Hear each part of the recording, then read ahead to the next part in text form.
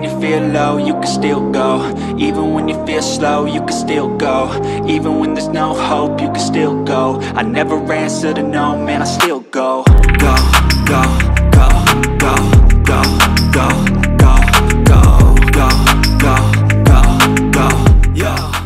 hello everyone welcome back to our video and I hope कि आप लोग भी अच्छे होंगे एंड मैं भी बहुत अच्छा हूँ एंड मेरा नाम अनीश है एंड इस वीडियो में मैं बात करूँगा कि how I lost my belly fat in two months and मेरा गोल ये है कि आप सभी की हेल्प करना एंड आप सभी को हर हफ़्ते कुछ नया सिखाना एंड अगर आप इस चैनल पर नए हो तो please subscribe to my channel and अगर वीडियो पसंद आए तो please like and share with your friends तो इस वीडियो में मैं आप लोगों को एग्जैक्टली exactly वही सब चीज़ें बताने वाला हूँ, जो चीज़ मैंने दो महीनों में अप्लाई करके मैंने काफ़ी हद तक अपना बेली फैट लूज़ किया है। मैं एक कॉलेज स्टूडेंट हूँ एंड कॉलेज के साथ पढ़ाई को मैनेज करते हुए मैंने अपनी फिजिक बिल्ड की है। अगर मैं कर सकता हूँ तो आप लोग भी कर सकते हो।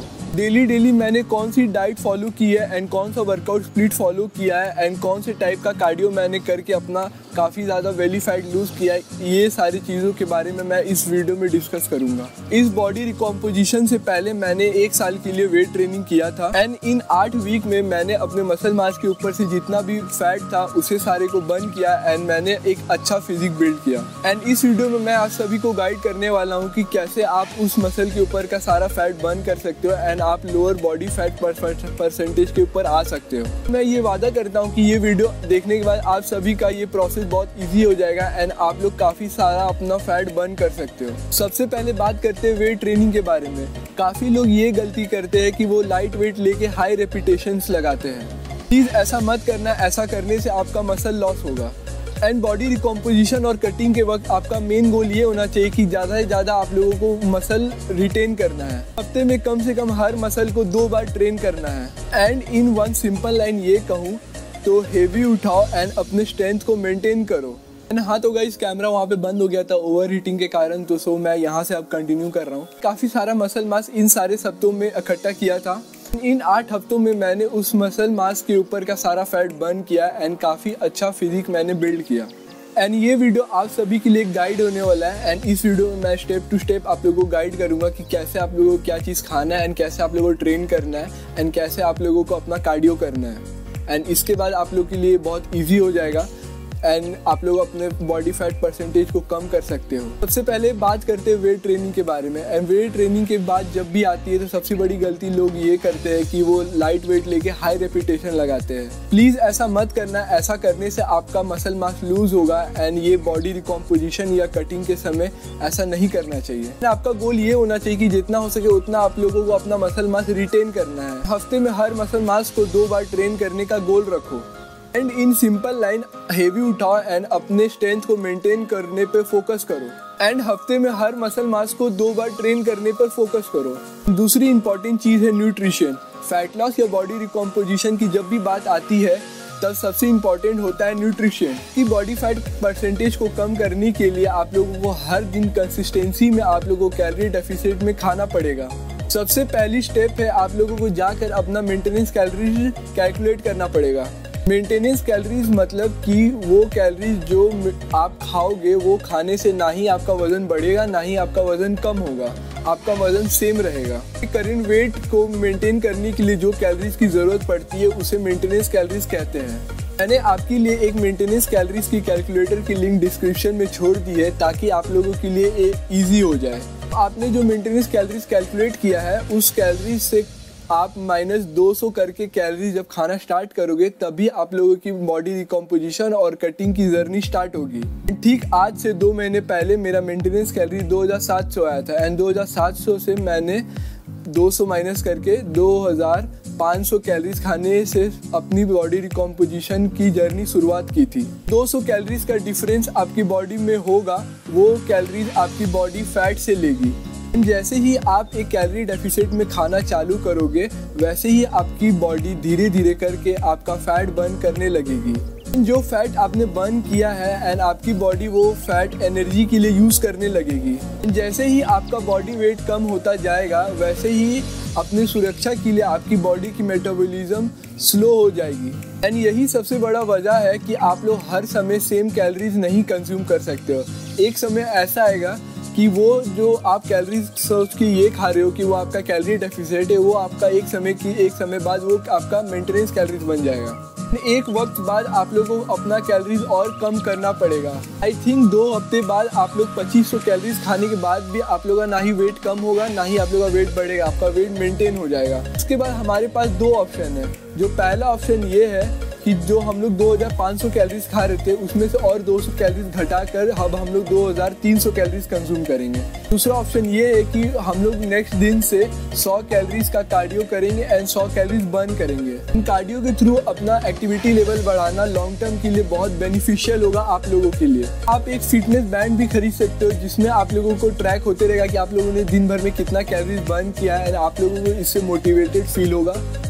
सो स्मार्ट चॉइस ये रहेगा कि हम लोग अपना कैलोरीज को सेम रखेंगे 2500 ही कैलोरीज खाएँगे नेक्स्ट दिन से एंड हम लोग बस अपना लाइफस्टाइल में कार्डियो को इंट्रोड्यूस करके डेली 100 कैलोरीज बर्न करेंगे। जब मेरा वेट फिर से कम होना बंद हो जाएगा तो फिर से हम लोग सेम कैलोरी 2500 ही कंज्यूम करेंगे।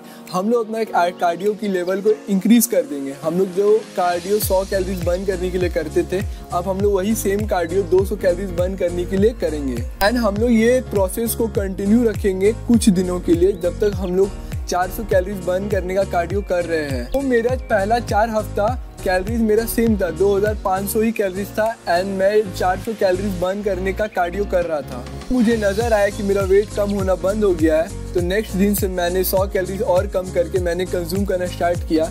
तो अब मैं डेली का 2400 कैलोरीज कंज्यूम कर रहा था एंड 400 कैलोरीज बर्न करने का कार्डियो कर रहा था। गाइस जब भी आप लोग अपना कैलोरीज इनटेक कम करते हो तो आप लोग कैलोरी इनटेक अपना कार्ब से कम करना है, ना ही प्रोटीन ना ही फैट ना ही फाइबर से कम करना है। काफ़ी लोग अपना कैलोरी सडनली बहुत कम कर देते हैं। ऐसा ना करें, ऐसा करने से आप लोगों का बहुत ज़्यादा मसल मास लूज होगा। ऐसा करने से आपका बॉडी वेट शुरुआत में बहुत स्पीड से नीचे जाएगा, पर आप लोग जान, एक समय के बाद आप लोग वहाँ स्टक कर जाओगे एंड आप लोगों को खूब सारा मसल मास लूज होगा। फैट बर्निंग बहुत एक स्लो प्रोसेस होता है एंड इसे करने के लिए आप लोगों को बहुत सारा पेशेंस चाहिए होगा। एंड एक और इंपॉर्टेंट चीज़ ये है कि आप लोगों को डेली अपना सुबह में खाली पेट पे बिना कुछ खाए पिए। आप लोगों को अपना वेट ट्रैक करना है एंड वेट को देखना है एंड नोट करते रहना है कि कैसे क्या आप लोगों का प्रोग्रेस हो रहा है। कभी एक ग्राफ ऊपर भी जा सकता है, कभी आप लोगों का ग्राफ नीचे भी आ सकता है, पर आप लोगों को डिमोटिवेट नहीं होना है। जब तक आप लोग अपना बॉडी वेट ट्रैक नहीं करोगे हर सुबह खाली पेट पर, तब तक आप लोगों को ये नहीं पता चलेगा जितना कैलोरी आप लोग कंज्यूम कर रहे हो, वो आप लोगों के लिए काम कर रहा है कि नहीं फैट बर्न करने के लिए। प्लीज़ जो आप लोग ये वेट करोगे, ये प्लीज़ आप लोग अपने घर पे करना सुबह खाली पेट में एंड ये वेट आप लोग जिम में मत करना। जिम में आप लोग जब भी वेट करोगे, तब आपका वेट दो तीन किलो बढ़ा हुआ दिखाएगा, क्योंकि आपके पेट में खाना, पानी एंड आप लोगों का ड्रेस ये सब पहने हुए रहते हो तो वो सब का सारा मेज़रमेंट आ जाता है। एंड जो वेइंग स्केल मैं खुद यूज़ करता हूँ, उनकी लिंक्स मैंने डिस्क्रिप्शन में दे दी है so you can check out क्या आप लोगों को पता है कि सबसे इंपॉर्टेंट माइक्रो न्यूट्रिएंट्स कौन सी होती है, जो हमारे मसल बिल्ड करने में हेल्प करती है तो वो होती है प्रोटीन आप लोगों का डेली प्रोटीन गोल ये होना चाहिए 2.2 टू 2.3 ग्राम पर बॉडी वेट होना चाहिए. बाकी का 10 से 20 परसेंट ऑफ़ कैलोरीज आप लोग फैट से लोगे एंड बाकी का सारा हुआ कैलोरीज आप लोग कार्ब से लोगे.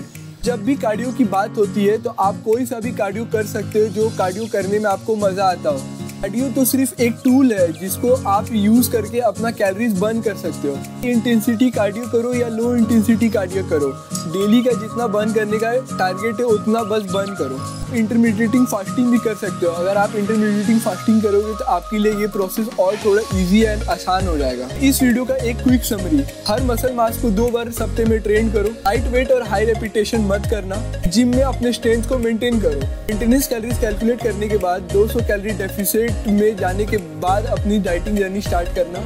ऐसे आपका वेट कम होना बंद हो जाएगा, आप कार्डियो करना स्टार्ट करोगे एंड डेली आप 100 कैलोरीज बर्न करोगे। एंड जब आपका वेट फिर से कम होना बंद हो जाएगा तो फिर से आप 100 कैलोरीज और बर्न करोगे एंड ये प्रोसेस आप तब तक करोगे जब तक आप डेली के 400 कैलोरीज बर्न नहीं कर रहे हो। एंड अगर आपकी बॉडी फिर से वेट कम करना बंद कर देती है तो आप अगले दिन से 100 कैलोरीज अपने कैलोरीज से कम करके खाना स्टार्ट करोगे। इसी के साथ ये वीडियो खत्म होता है। अगर आप लोगों को ये वीडियो से कुछ सीखने को मिला तो please leave a like and subscribe to my channel and अगर आप लोग मेरे को इंस्टाग्राम में फॉलो नहीं करते हो तो प्लीज़ इधर मेरी इंस्टाग्राम की आईडी आ रही होगी। आप लोग मेरे को वहाँ फॉलो कर सकते हो। ऐसा मैं मिलूँगा आप लोगों से एक नए वीडियो में। तब तक के लिए खूब सारा मेहनत, खूब सारा प्यार। And peace out